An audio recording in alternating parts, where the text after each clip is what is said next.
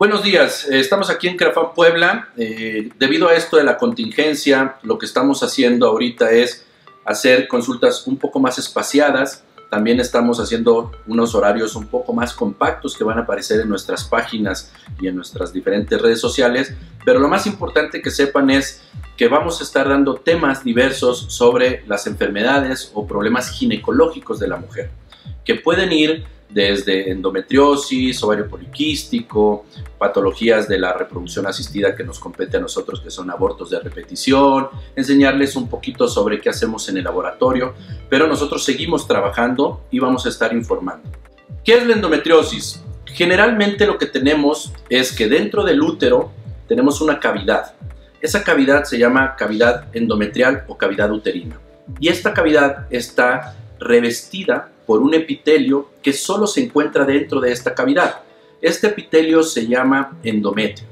Y entonces estas células endometriales muchas veces migran o se siembran fuera de esta cavidad uterina. O sea, puede estar por afuera del útero, arriba, abajo, las trompas, en los ovarios, y entonces a esta patología o a este tejido migrante se le llama endometriosis. ¿Por qué se la endometriosis? La verdad es que existen algunas teorías o hipótesis y dos de ellas o la principal es la menstruación retrógrada. ¿Qué es esto?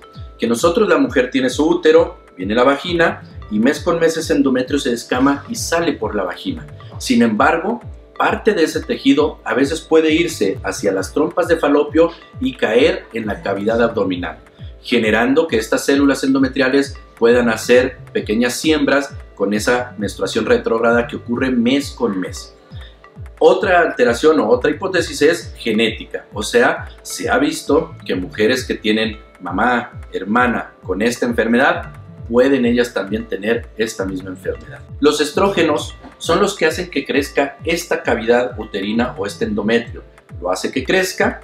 Si no hay embarazo, la progesterona se produce la ovulación no hay embarazo, se pierde la progesterona o deja de producirse y este endometrio se necrosa y las células se descaman, produciéndose en un sangrado menstrual. Pero si yo tengo este tejido que normalmente crece en la cavidad y está aumentando de tamaño por la acción de los estrógenos, por el crecimiento del folículo, pues también van a crecer estas células que están sembradas fuera de nuestra cavidad uterina mes con mes. Anatómicamente el útero, por delante tenemos la vejiga, por atrás tenemos el recto y en medio está el útero. A los lados están las trompas de falopio, que si fueran como mis brazos, las trompas de falopio, y después están los ovarios como tal.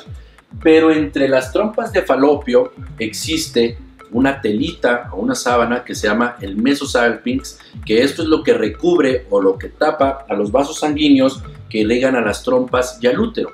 Entonces también las mujeres con endometriosis muchas veces se distienden o se inflaman más estos vasos sanguíneos por una éstasis, o sea, por un estancamiento de esa sangre, por la inflamación y por eso se traduce en más dolor.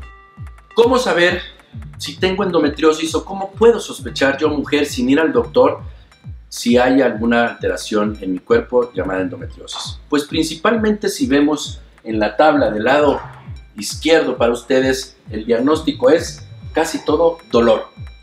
Puse en primer grado dolor dismenorrea. ¿Qué es la dismenorrea? El dolor menstrual.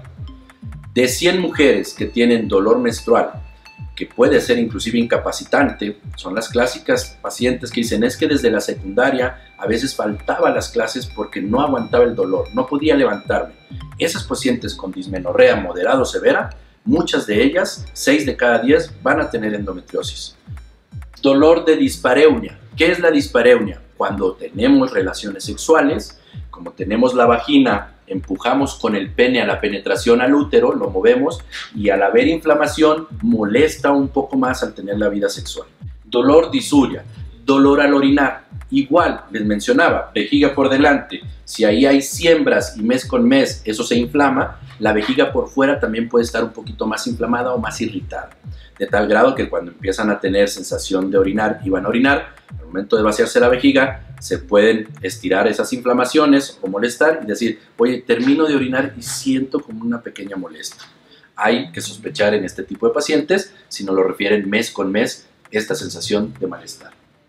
Dolor pélvico irradiado.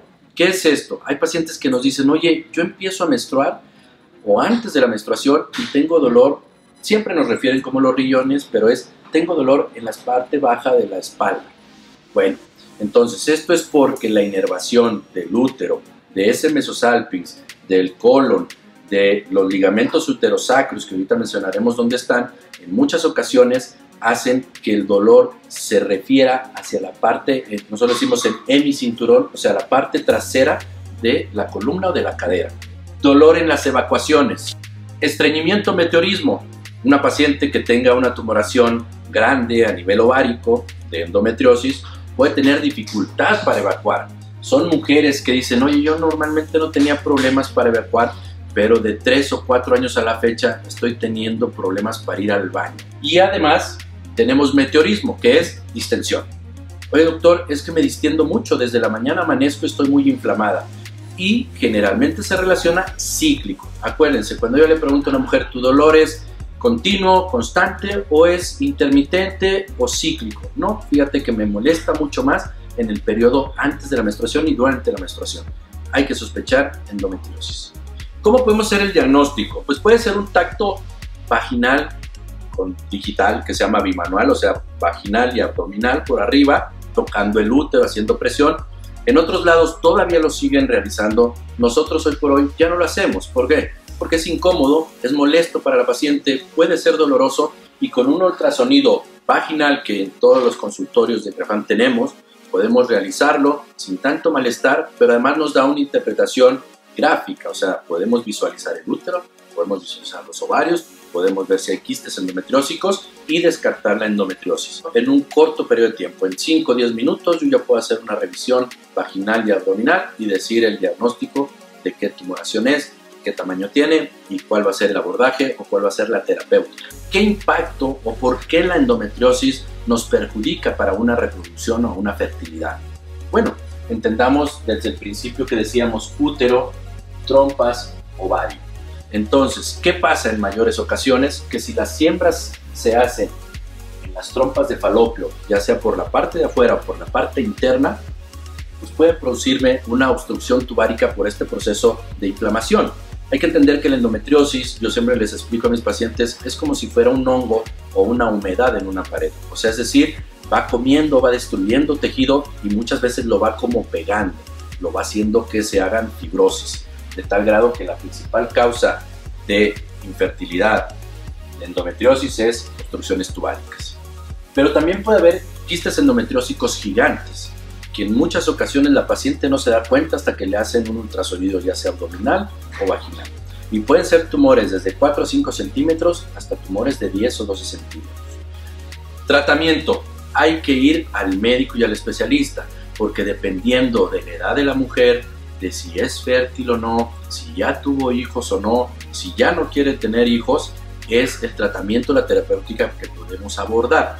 Sin embargo, siempre es importante hacer ejercicios, o sea, la actividad física, pues, se ha demostrado que esto hace que el cuerpo se desinflame, pero además nos da cierto grado de relajación y entonces podemos tener mucho mejor capacidad al dolor o a la molestia cíclica de la endometriosis. Analgésicos versus AINES. En muchas ocasiones a las pacientes de manera errónea se les maneja con analgésicos potentes. Dicen, es que ya me tomé el analgésico más potente y no me hace nada. Y la realidad es que hay que ver cuál es el mejor medicamento o cuál es el que mejor reacción hace para ese dolor menstrual que tiene la paciente. Porque de primera instancia los AINES, que son analgésicos antiinflamatorios no esteroideos, llámese naproxeno, diclofenaco, ibuprofeno, el que ustedes quieran ponerme. Bueno, entonces hay pacientes que les va mucho mejor con un ibuprofeno, con un diclofenaco, un naproxeno, que un analgésico puro. O podemos combinar los dos, un analgésico puro con un AINE para así hacer mucho mejor sinergia y disminuir ese dolor o quitarlo.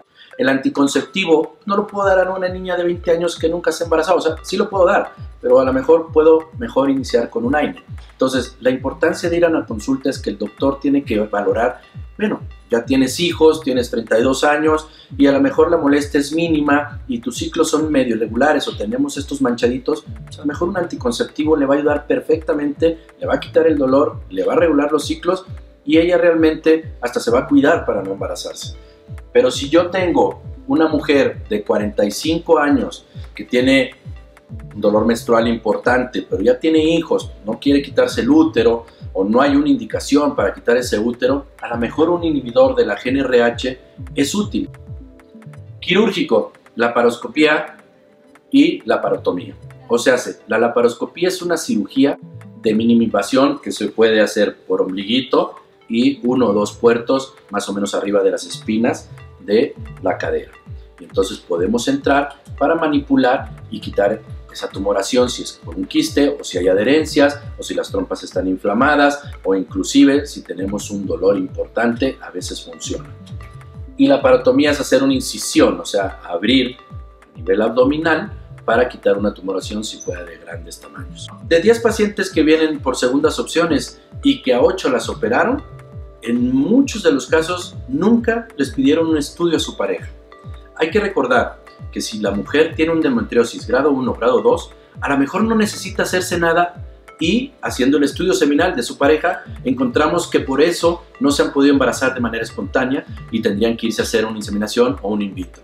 Entonces, primero hago una consulta con el especialista y después valoro si realmente necesito operarme. Pero bien importante hacer o tener estudios también de tu pareja. De hecho, es bien importante saber que todas las pacientes que tenemos internacionales, su primer contacto es vía internet, vía Skype. Hacemos una valoración, un interrogatorio, posteriormente nos mandan sus estudios, los revisamos, le decimos qué estudios se tienen que tomar. Entonces, que sepan, pacientes de aquí de Puebla, Oaxaca, Veracruz, de toda la República, si quieren venir o quieren hacer una consulta, llámenos, programamos la consulta, hacemos el interrogatorio, llenamos toda nuestra historia clínica, nos mandan los estudios, los revisamos y después les diré qué estudios se pueden realizar allá o qué estudios faltarían para el día de la consulta que nos veamos. Recordar que las tres clínicas de CRAFAM eh, somos una clínica privada y por ende además como ventaja no estamos dentro de un hospital. ¿Esto que nos conlleva? Mucho menos riesgo porque hay menos movimiento de pacientes y de enfermos. Aquí normalmente la paciente entra, se revisa, tiene un horario específico, se checa y se va. Entonces no hay un movimiento además de las medidas higiénicas y sanitarias que llevamos en todos los consultorios. Bueno, entonces muchas gracias. Por ahorita nos vamos a despedir. Solamente eh, les preguntaremos eh, qué te pareció la plática, de qué temas te gustaría saber y el que sea más votado, el que tenga mucho más eh, dudas o preguntas, ese es el que hablaremos la próxima semana. Todas las semanas, miércoles, estaremos dando una plática pequeña sobre temas diversos que le interesa a ustedes que están desde sus casas y para que después hagan su consulta con nosotros.